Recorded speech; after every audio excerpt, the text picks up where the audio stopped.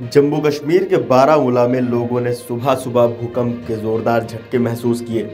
Seismology centre के अनुसार बारामूला में दो बार भूकंप आया है, जहाँ पहले भूकंप की तीव्रता चार दशमलव नौ रही, वहीं दूसरे भूकंप की तीव्रता चार दशमलव आठ मापी गई।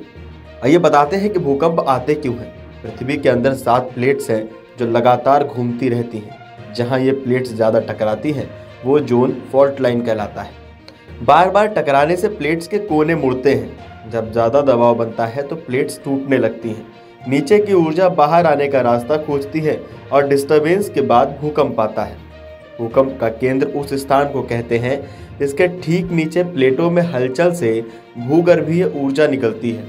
इस स्थान पर भूकंप का कंपन ज़्यादा होता है। कंपन की आवृत्ति जो जो दूर होती जाती है, इसका प्रभाव कम होता जाता है।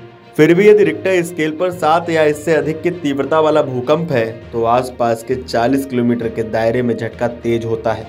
लेकिन यह इस बात पर भी निर्भर करता है कि भूकंपीय आवृत्ति ऊपर की तरफ़ है या दायरे में। यदि कंपन की आवृत्ति ऊपर हो तो कम क्षेत्र प्रभावित होगा। भूकंप की जाँच रिक्टर स्केल से होती है। इसे रिक्टर मैग्नीट्यूड टेस्ट स्केल कहा जाता है।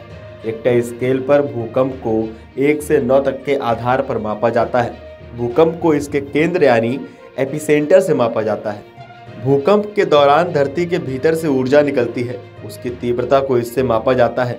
इसकी तीव्रता से भूकंप के झटके की भयावहता का अंदाज़ा होता है। अगर आप ये वीडियो YouTube पर देख रहे हैं तो हमारे चैनल को सब्सक्राइब करें और बेल आइकन को दबाना ना भूलें। अगर आप Facebook पर यह वीडियो देख रहे हैं तो हमारे पेज को लाइक करें।